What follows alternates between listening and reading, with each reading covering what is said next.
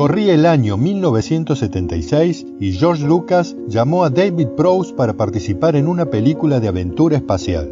El director le ofreció al actor de más de 2 metros de altura dos opciones. La primera era interpretar a un personaje que estaba del lado de los buenos llamado Chewbacca, por lo cual debía estar durante los tres meses de verano bajo un traje peludo, situación que a Prowse no le agradó mucho. Y entonces, ¿cuál es la segunda opción? preguntó el actor. A lo que Lucas le respondió, la otra opción es que hagas a Darth Vader, el villano de la película. Prowse respondió sin dudar, todo el mundo recuerda a los villanos, George. Me quedo con ese papel. Lo que no sabía es que su rostro nunca aparecería en pantalla y tampoco su voz se escucharía en ninguna de las tres películas en las que participó. Quédate hasta el final que te voy a contar por qué George Lucas vetó de por vida a David Prowse. Este actor británico nació en la ciudad de Bristol en 1935 y casualmente en su escuela secundaria coincidió con Julian Glover, quien mucho tiempo después interpretaría al general Bierce en El Imperio contraataca. Cuando tenía 13 años, sufrió una tuberculosis que le afectó las rodillas, por lo que tuvo que usar sostenes ortopédicos durante tres años para poder sostenerse. El médico le recomendó actividad física y fue así que se metió en el mundo del físico-culturismo. Tras nueve años de preparación en el gimnasio, en 1960 fue invitado a participar en el campeonato de Mister Universo. En los años 62, 63 y 64 ganó el Campeonato Nacional de Alterofilia. Luego de su último título, al no poder clasificar para los Juegos Olímpicos de Tokio de 1964, decidió retirarse. La primera película en la que trabajó con un pequeño papel fue en Casino Royale de 1967, una comedia sobre James Bond donde aparece interpretando al monstruo de Frankenstein junto a grandes figuras del momento como David Niven, Peter Sellers, Ursula Andress, Orson Welles, Jean-Paul Belmondo y Jacqueline Bisset, entre tantos otros. También trabajó en varias producciones de terror clase B de la Hammer, una productora inglesa que realizaba fundamentalmente películas de terror gótico y que brilló principalmente en la década del 60 y parte de los 70. Allí volvió a interpretar en dos oportunidades al monstruo creado por el Dr. Frankenstein, en El horror de Frankenstein y Frankenstein y el monstruo del infierno, en la que compartió set con el gran Peter Cushing. Stanley Kubrick lo tuvo en su elenco en 1971 haciendo el papel de un guardaespaldas en la polémica, transgresora y además nominada a cuatro premios Oscar, La Naranja Mecánica. En 1975 y durante 14 años se convirtió en el héroe de una campaña de televisión de Inglaterra encarnando al superhéroe Green Crossman, que velaba por la seguridad vial de los niños enseñándoles a tener cuidado al cruzar la calle. Al final de la campaña, el número de accidentes que involucraban a niños se había reducido a la mitad y esto lo llevó a recibir en el 2000 el reconocimiento de la Orden del Imperio Británico. En 1976 audicionó para interpretar a Superman en la película de Richard Donner y fue convocado pero para que entrenara a Christopher Reeve, quien fue finalmente quien se quedó con el personaje. Pero vamos ahora sí a la historia por la cual Prowse terminó siendo vetado por George Lucas en la Guerra de las Galaxias. Durante la selección de los actores para la primera película de la saga, la figura imponente de Prowse fue fundamental para que Lucas lo eligiera.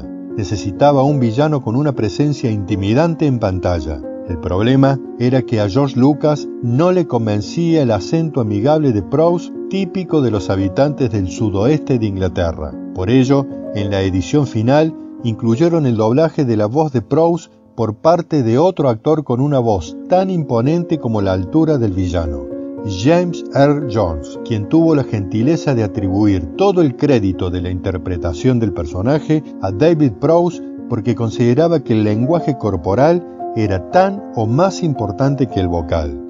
Prowse terminó aceptando sin reproches la decisión. El problema se dio en la tercera película cuando al final de la historia, en uno de los momentos más conmovedores, se conoce el rostro del villano y este no es precisamente el de Prowse. Para esta escena se eligió al británico Sebastian Shaw, con quien filmaron a escondidas de Prowse la escena en la que se revela el rostro de Darth Vader. y Luke Skywalker se entera que el villano es su padre. Existen dos versiones sobre el motivo por el cual Prowse fue reemplazado en esta escena tan emblemática. Una por cuestiones artísticas, es la que afirman los productores y el mismo Lucas, y es que el rostro de Darth Vader no hubiese funcionado con el de Prowse, ya que al momento de filmarse El Retorno del Jedi, el actor tenía 47 años y se pretendía que el villano fuese bastante mayor y que se notara en la pantalla. La otra versión es que existía un malestar con Prowse que había tenido origen en 1977, luego de finalizado el estreno de la primera parte, Star Wars Una Nueva Esperanza, porque en una entrevista, cuando le preguntaron al actor si habría una segunda entrega y cuál sería el argumento, respondió que esperaba que sí y que una buena historia sería una lucha a muerte entre Darth Vader y Luke Skywalker, y donde finalmente sale a la luz que el villano es el padre de Luke. En ese momento era imposible que David tuviera datos del guion porque sencillamente no existía tal guion. Nadie sabía hasta su estreno que la película tendría tanto éxito y por lo tanto tampoco sabían que se convertiría en una saga. Sin embargo, a partir de la segunda película Star Wars El Imperio contraataca, el trato hacia Prowse por parte de Lucas y algunos productores se volvió más distante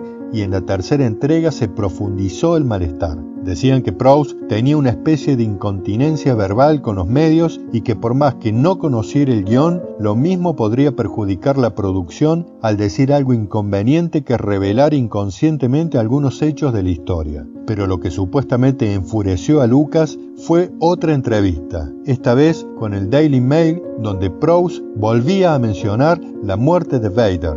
La verdad es que la información se había filtrado desde el set de filmación pero los reporteros titularon que Prowse se los había confirmado. Algunos periodistas del mismo medio se encargaron años después de desmentir la supuesta revelación de Prowse. Incluso dijeron que cuando le preguntaron qué tan cierto era ese hecho en el guion, el actor dijo que no sabía nada con respecto a ese tema. Durante la filmación de la tercera entrega, el director Richard Marquand no le dirigió la palabra a Prowse y utilizaba a su doble de riesgo, Bob Anderson, para escenas que tendría que haber hecho con él. No entendía por qué las cosas se habían vuelto tan extrañas. Incluso en la filmación de la escena donde se revela el rostro de Darth Vader, pusieron guardias de seguridad para asegurar la privacidad del set. David Prowse se enteraría que su rostro nunca aparecería en pantalla recién el día del estreno, ya que con él habían filmado una escena diferente que luego fue reemplazada por la que filmaron a escondidas con Sebastian Shaw. Para algunos, el enojo de Lucas provocó que Prowse fuera sustituido en la escena final. Y no solo eso, también a partir de entonces fue ignorado como parte del elenco oficial. Nunca fue convocado para participar en convenciones promociones ni premiers. Casi todos los fanáticos coinciden que Prowse fue víctima de una injusticia por parte de Lucas, quien nunca se disculpó con el actor. David Prowse falleció el 28 de noviembre de 2020 a causa de complicaciones por COVID-19. Con él se fue el actor que le puso al cuerpo a uno de los villanos más malvados de la historia del cine.